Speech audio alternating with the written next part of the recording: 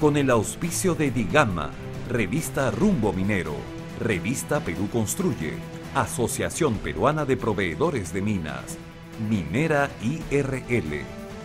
Bienvenidos a Rumbo Minero TV. Bienvenido como siempre Juan José. Gracias. Eh, bueno, esta semana eh, estamos ya a puertas de un evento del grupo Digama, de nuestro grupo, eh, el evento ARCOM, el encuentro de arquitectos, constructores, y, proveedores. ¿no?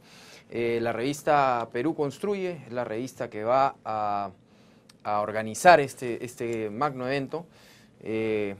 contamos con, con grandes expositores, y va a ser el miércoles 4 de julio en el Hotel Westin, ¿no? Sí, un evento que no pueden perdérselo. Tenemos exposiciones eh, de la calidad de Gonzalo Prealé, presidente de AFIN, de Proinversión, va a estar Roque Benavides de Minas Buenaventura sobre los valores agregados, va a estar Eric Rey de Castro, presidente de Colliers International. Presidente Ismael Benavides, ¿no? El presidente del ministro de Economía va, a hablar sobre el Perú, cómo llegar al primer mundo rumbo al 2021. Así que los esperamos este miércoles 4 de julio en el Hotel Westin. Va a ser un gran evento organizado por el grupo Digama. Hoy estará con nosotros el ingeniero Gonzalo Prealé, presidente de la Asociación para el Fomento de la Infraestructura Nacional, quien nos hablará sobre el déficit de infraestructura en el país. Y a continuación, nuestro informe especial sobre el encuentro de constructores, arquitectos y proveedores ARCON 2012, a llevarse a cabo el 4 de julio en el Lima Westin Hotel. Esta secuencia llega gracias al auspicio de la revista Perú Construye. En el Perú existe una revista especializada en construcción y arquitectura. ¿Lo sabía? Perú Construye, con los mejores artículos e información de la construcción y las tendencias en arquitectura. Perú Construye, su mejor herramienta de negocios en construcción y arquitectura.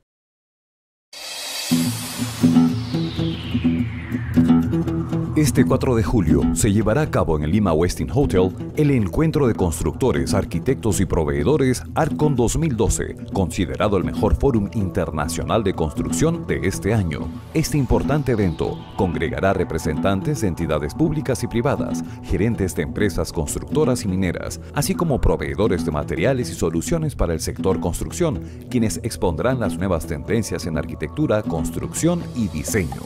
ARCON 2012 tiene como objetivo principal dar a conocer los proyectos de inversión público y privada que se llevarán a cabo en el país, para lo cual se han programado una serie de conferencias.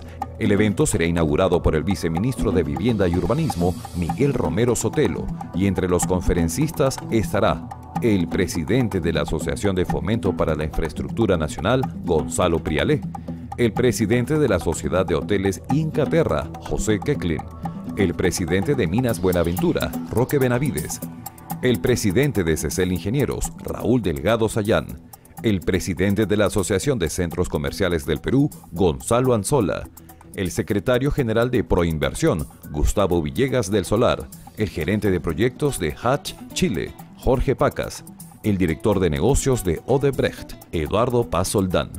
También estará el gerente general de Colliers International, Eric Rey de Castro, el gerente general de Cemex Perú, Leopoldo Corona, el gerente general de Saintec, Julio Rivera Feijó, el gerente de construcción de Odebrecht, Winston Lewis, el gerente ejecutivo de Perú Green Building, Héctor Miranda, y el presidente de Arcon 2012, Ismael Benavides Ferreiros, quienes darán a conocer los proyectos de inversión en infraestructura rumbo al 2021, los cuales son cruciales para lograr la ansiada inclusión social y hacer del Perú un país más competitivo en el mundo. Este evento nace en un contexto favorable para la economía peruana, cuyo crecimiento sostenido de los últimos años ha impulsado al sector construcción en 18% durante el 2010 y se espera que dicho incremento llegue al 12% en este año. Reflejo de ello son los más de 10 mil millones de dólares anunciados por Proinversión para los próximos dos años, además de los cerca de 770 millones de dólares para la construcción de infraestructura turística.